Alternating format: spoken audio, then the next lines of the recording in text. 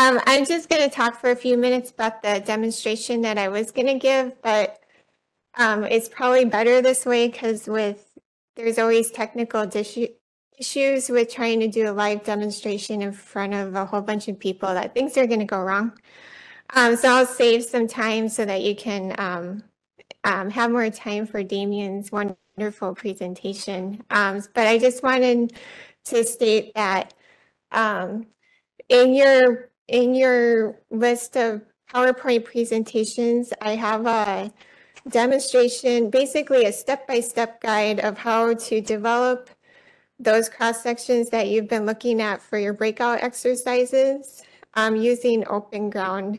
Um, so who who here has um, used software, any kind of borehole software to develop cross sections? Okay, um, who here, what kind of software programs have you used for cross sections? HoleBase, okay. Blockworks, OpenGround, okay. Um, so, um, so these are some of the lists of um, ways to um, develop cross sections that I have used or others in the Corps have used. Um, the cross sections that I um, showed yesterday from the ABAQ presentation were developed using GINT and MicroStation.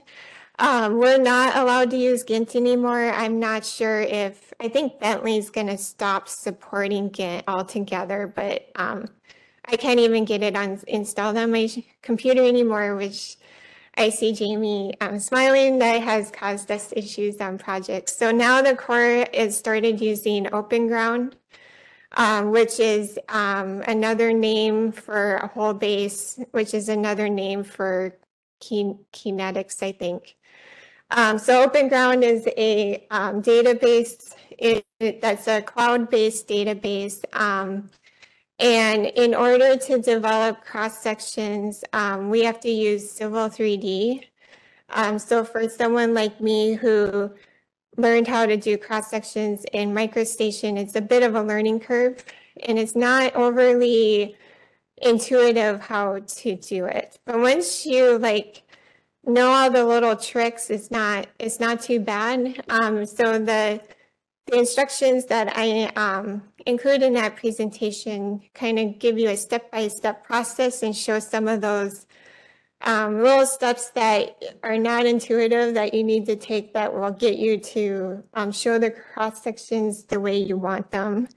Um, and one of those things is um, that I think is key is being able to show like the, the key data that you want on your cross sections. So a lot of, I see a lot of cross sections where all you see is just this graphic long with no data on it. So you have to know what the symbols mean that represent, you know, SM versus SP and all that, but no like data with it. And it's important, especially if you have a database, um, to show like your blow counts, your uniformity coefficient, your fines content, or if you're dealing with um, cross sections through rock, if you have RQD or um, water takes or grout data.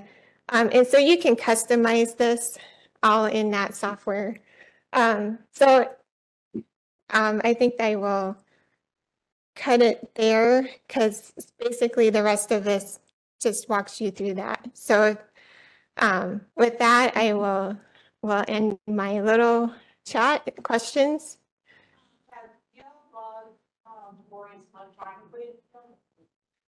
Um, I have I have the question was do we log um, borings um, electronically in the field? Um, I personally have not done this. I'm very old fashioned and not trustworthy of a computer saving my data, especially if I'm in, out in the rain, but I know of other people who have done it. Um, and I guess one nice thing about, I think it's Plog, I guess one nice thing about that is as you go through the, the, the tablet, um, it has drop down menus that kind of force you to select certain things and log consistently, which has some benefit. Um, But I, have you used that, that?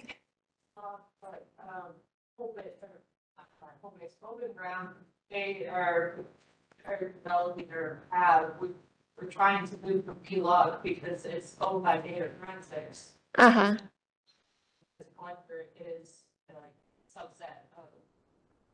yeah. And so you can directly import your data into the database and that saves you a lot of time on um, data entry, which um, can be very time consuming with the cloud-based um, database because it's not like 10 key where you can enter numbers and hit enter and, and instantly be on your next line. It takes like a second or two, which um, seems like an eternity when you're entering a lot of data. Um, any other questions? Okay, oh, yes. Is there any effort to take all of the old gINT logs and put them into the new software? I mean, like a big scale? Um, yes, yeah, so, um, the, um, geotech cop or geology, was it GG, um, geology and geotech and materials cop at the Corps of Engineers, um, for the last couple of years has been collecting gINT databases from, um, various districts. Um, and they're converting them into, um, OpenGround. So we have a very large database on the cloud right now. Um, I, Jamie and I are working on a new project. We got a gINT database from a contractor. I was able to send that database to the COP. And they, um, like a in a couple days, they had it converted and uploaded into, um, OpenGround. So that's, so that's what we're, we're doing. I don't know how long that's going to last. I think that contract's running out, and so we might be on our own for uploading stuff after. I, I don't remember, I don't remember when the date is, but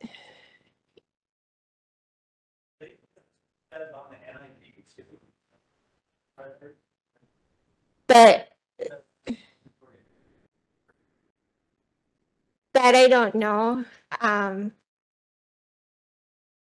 so, oh, I guess one more thing I would point out is at the very end of this presentation, I have a a slide of resources. So here's some web links for tutorials if anyone's interested. Um, this is towards the end. Um, I'm not, so the first link is prob- probably more applicable for um, Corps of Engineers because it's the website for our GGM COP. Um, the rest of the links are Bentley links that have training references. So if anyone has questions and needs um, access, um, they can, you can um, shoot me an email. Okay, thank you. Thanks, Amy.